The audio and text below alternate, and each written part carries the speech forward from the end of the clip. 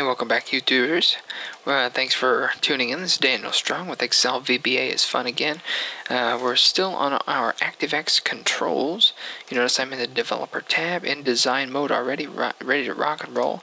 We're going to insert two or three of these option boxes. And what is an option box? Or, excuse me, option button, I should say. Oh, uh, looks like I labeled this wrong.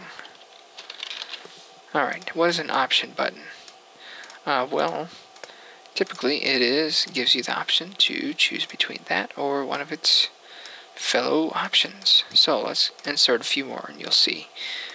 Uh, typically when they're grouped together, when they're um, when there are several option buttons next to each other, unless they're grouped separately with grouping mechanisms that we can talk about later, they will assume that if one is not is one is checked, then the others must be not checked.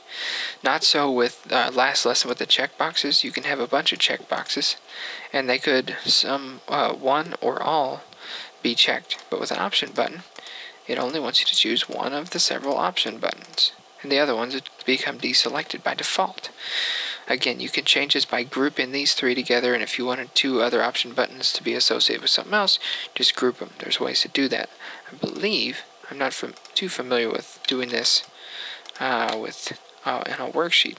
More familiar with user forms, but uh, we might be able to right click and perhaps group. Okay, so you could group these three, and then when you clicked on a different option button, it wouldn't uncheck one of these.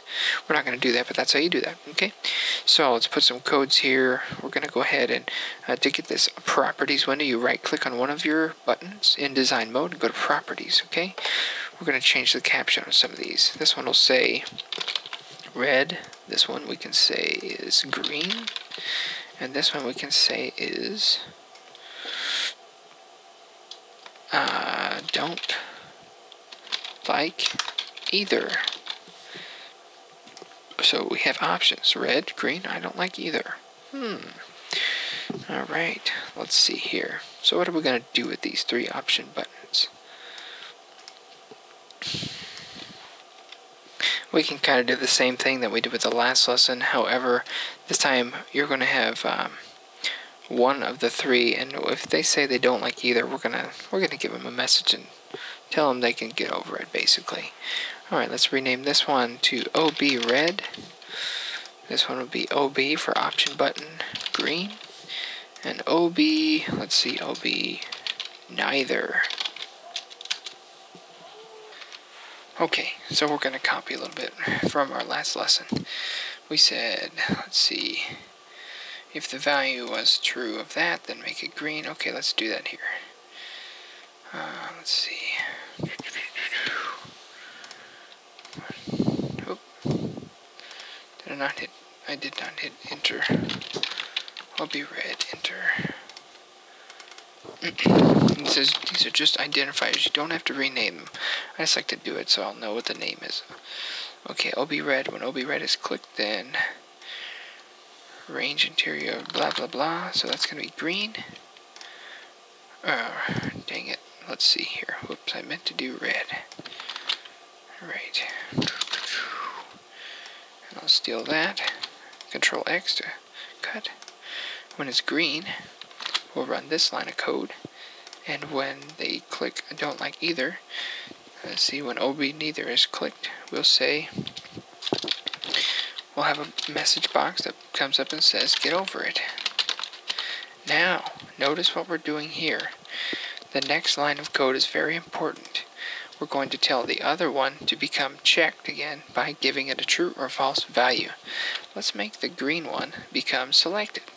So after the message box is, when the OK button is clicked after it says this, we're going to say me dot uh, ob let's have the green me dot ob green dot value equals true. Now, let's make this fun. Double click here. Uh, whenever they, whenever they, uh, whenever they, let's see, where's the right click? Is there a right click event? Oh, there isn't. Okay, we'll forget that. This is complicated enough. uh, we'll have the value of the green checkbox become true. So check this out. Let's ex oh, let's exit design mode. I'm going to click on green, click on red, green, red. If I click on don't like either, it says get over it. When I hit OK, it's going to make the value of the red one, I think, no, the green one become true. Get over it. Or we can have the other one become true also. Me.obred dot value equals true. So whenever they click I don't like either color, it says get over it. And it makes red become true. Get over it. Red's true. Crazy. That's fun. Anyway, thanks for watching. This is uh, our VBA series on the option buttons. Tune in next time for some more awesome fun.